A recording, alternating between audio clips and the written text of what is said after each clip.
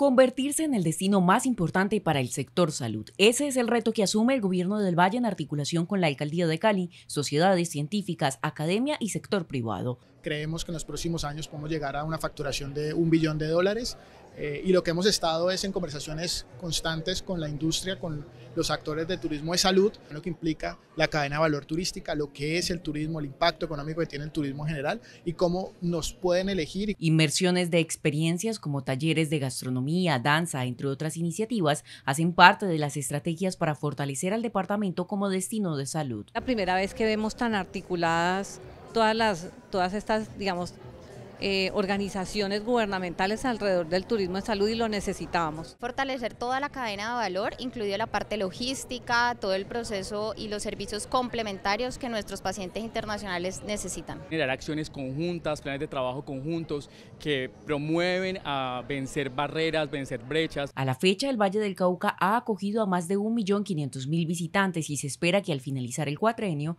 la cifra supere los 8 millones de turistas.